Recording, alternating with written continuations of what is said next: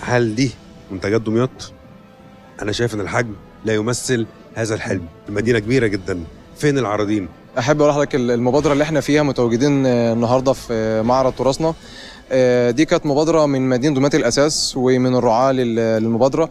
إن إحنا نشارك في المعرض عشان برضو هدفنا نعرف يعني إيه ناس مدينة دمياط الأساس يعني إيه حلمنا إحنا نقدر نوصل للعالمية.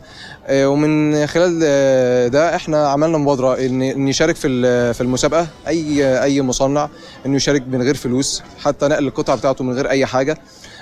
سواء داخل مدينة دمياط الأساس وخارج مدينة دمياط الأساس. أنا عندي هنا في الجناح حوالي 20 عارض منهم حوالي 12 عندي فعليين من مدينة دمياط الأساس وحوالي 8 من خارج المدينة.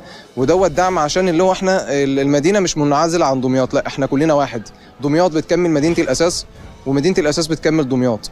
طب ليه الناس دي ما شاركتش في معرض لومارشين مثلا؟ معرض متخصص في الأساس معرض فرن أي معرض للأساس. هو ده فعلا يا فندم اللي سيادة المحافظ بتسعى ليه دلوقتي. كانت عندنا النهارده الصبح وإن شاء الله يعني إحنا مجاهدين إن ما فيش أي معرض أن يعني أي معارض من المعارض اللي بتتعمل له مارشي آه له مارشي تراثنا. هنبقى مشاركين فيها دايما بإذن الله.